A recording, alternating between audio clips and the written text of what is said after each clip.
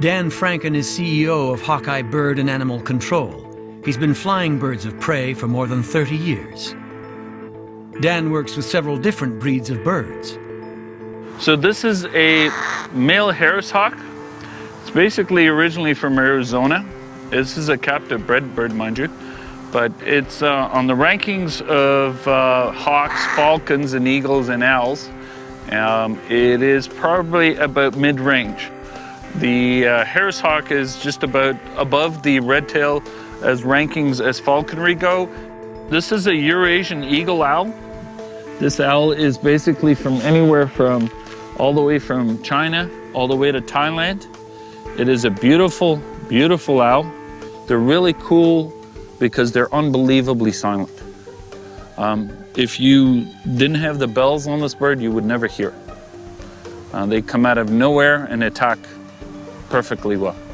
Pretty. And they're amazing at rotating their heads, as you can tell. And I'm just going to slowly rotate the body. And as I'm rotating the body, the head will almost stay still. So it's really neat.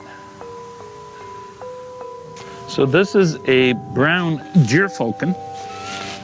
And it's probably one of my favorite birds. Gyrfalcons are basically the epitome of falconry. They are by far the top end of the top end. If you are an unbelievably good falconer, this is what you're dealing with. They tend to be more of the high-flying fast jets in sort of military terms for you, um, as opposed to your Harris Hawk, for example, is your helicopter.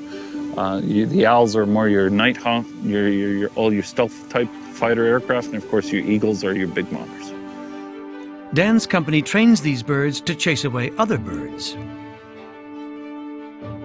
These birds basically, um, they chase seagulls at landfills and airports. They're wonderful at chasing anything from ducks to seagulls, anything that size bird, right down to a starling.